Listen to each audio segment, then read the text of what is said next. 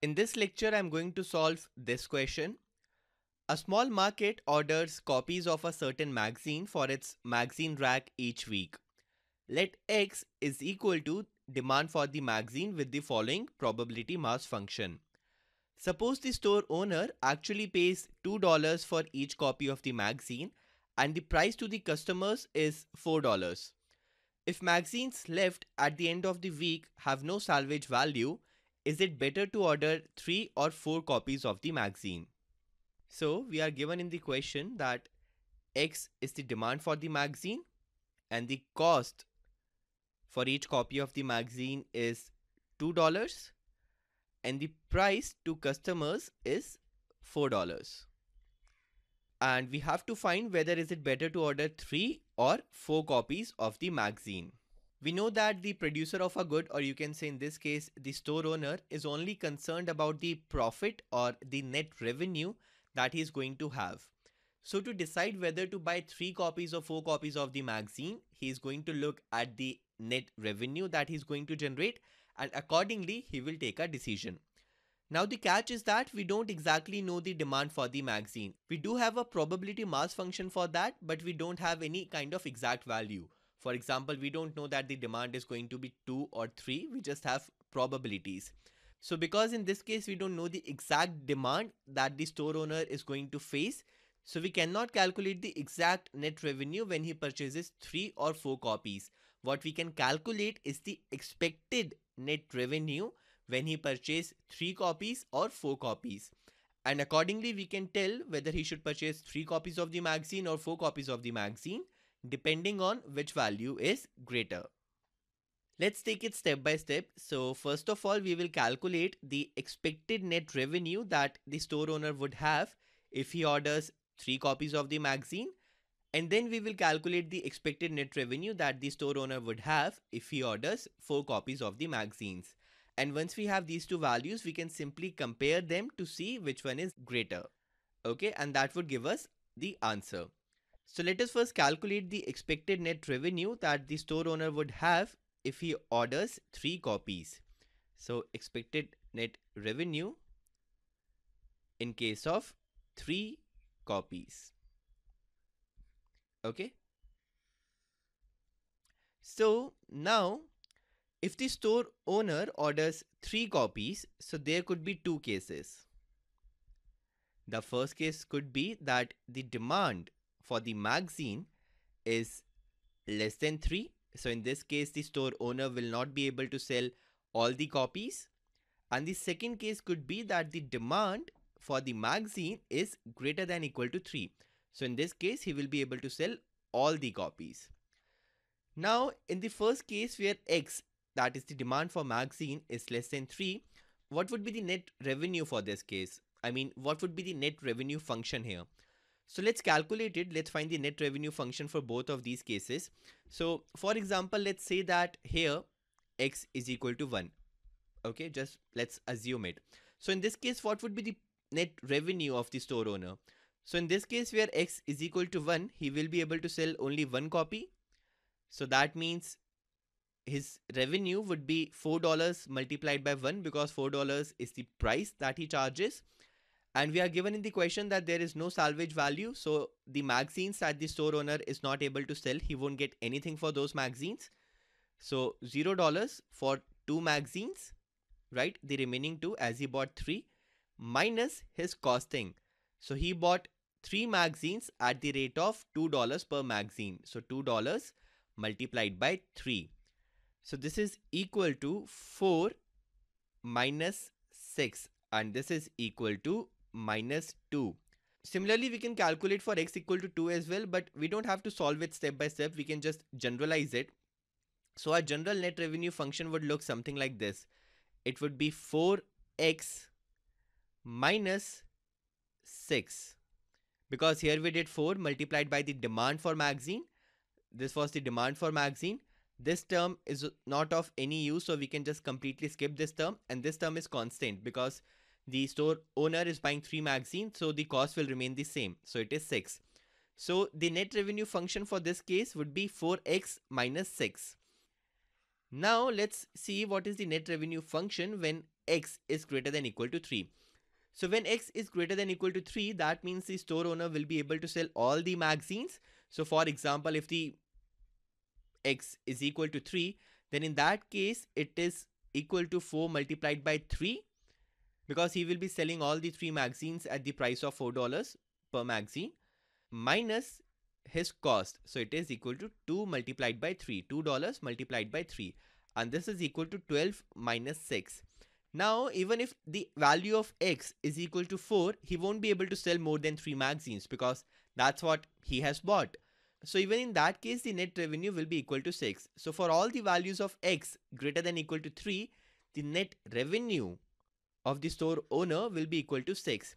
So the net revenue function that we could write is this.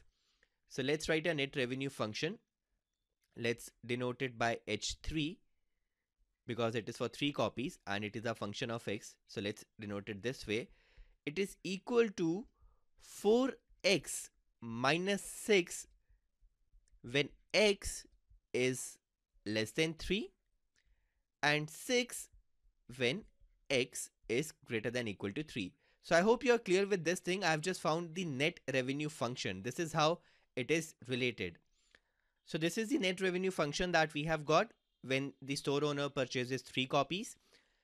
Now let's find the expected net revenue in this case. So let's find the expectation of this h3x. Well, this would be equal to summation h which is a function of x multiplied by probability of x, right? And this we can write is equal to h1 multiplied by p1 plus h2 I'm just opening the brackets. I'm just opening the summation. Multiplied by p2 plus h3 multiplied by p3 plus h4 multiplied by p4 plus h5 multiplied by p5 and plus h6 multiplied by p6 now it's quite simple to solve. So the h1 okay is equal to 4 multiplied by 1 minus 6 because we are putting x equal to 1 so h1 is equal to 4 multiplied by 1 minus 6 and the what is the probability that we will have x equal to 1 well this is given to us in the question it is given that the probability that x is equal to 1 is 1 by 15 so we can write 1 by 15 here. Plus h of 2 is 4 multiplied by 2 minus 6 and the probability here is 2 by 15 this is given to us in the question h of 3 is 4 multiplied by 3 minus 6 the probability associated is 3 by 15 plus h of 4 is 6 6 multiplied by p4 p4 we are given in the question is 4 by 15 plus once again h5 is 6 we are given in the question that p5 is 3 by 15 plus 6 multiplied by 2 by 15 so this is the expression that we have got and solving this we will get 4.93 4.93 so this is the expected net revenue when the store owner orders 3 copies of the magazine. Now let us calculate the expected net revenue when the store owner orders 4 copies of the magazine and we know that that function will be a function of x. So let's say we have to calculate this h4x this is how i'm denoting the expected net revenue Okay, so this is the notation that I'm using. Expected net revenue when the store owner orders 4 copies of the magazine. So when the store owner orders 4 copies of the magazine, once again there could be two cases. First case is when the demand is less than 4. So in this case the store owner will not be able to sell all the copies purchased. And the second case is when the demand is greater than equal to 4. So in this case he will be able to sell all the copies that he has purchased. So when x is less than 4, say when x is equal to 1, what will be the net revenue of the store owner? Well, in this case, as he will be able to sell only one copy of the magazine, so it will be equal to 4 multiplied by 1 plus there is no salvage value for the magazines that he's not able to sell. So 0 multiplied by 4 minus 1. These are the number of magazines he's left with, 3 magazines. minus his cost. His cost is 2 multiplied by 4. So $2 multiplied by 4 as he's purchasing 4 magazines. So this term is of no use to us. So we can just directly ignore this term. And if we generalize this, if we generalize this expression, we will get 4x minus 8 because this cost that is 2 multiplied by 4 is same irrespective of whether x is equal to 1, 2, 3 or whatever. So it is equal to 4x minus 8. So this is the revenue function when x is less than 4. Let's now talk about the case when x is greater than equal to 4. Well, in this case, he will be able to sell all his copies. So let's talk about the case when x is equal to 4. So in this case, the net revenue is equal to 4 multiplied by 4 because the price is 4 minus 2 multiplied by 4. Okay, so in this case, the revenue is equal to 16 minus 8 and this is equal to 8. And irrespective of whether x is equal to 5 or 6, the net revenue in this case will be equal to 8 only. Okay, so we can summarize this and we can write this in a tabular form like this. So we can write that the expected net revenue function, which is h4x, is equal to 4x minus 8 when x is less than 4 and is equal to 8 when x is greater than equal to 4. Now let's find the expected value of this function, this net revenue function. So expected value of h4x. So this is equal to summation hx multiplied by px, right?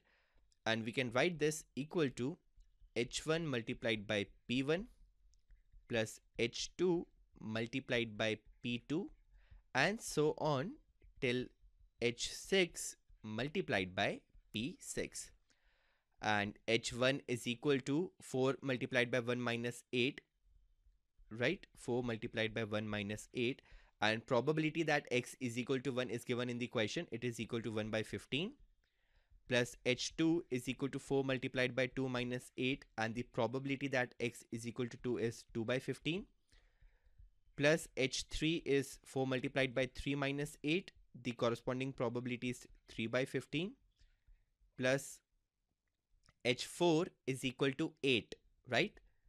Is equal to 8 and the corresponding probability is 4 by 15 plus h5 is also equal to 8 and the corresponding probability is 3 by 15 plus h6 is also equal to 8 and the corresponding probability is 2 by 15 and solving this we will get 5.33 so the expected net revenue when the store owner purchases 4 copies of the magazine is 5.33 and we calculated that the expected net revenue when the store owner purchases 3 copies of the magazines is equal to 4.93.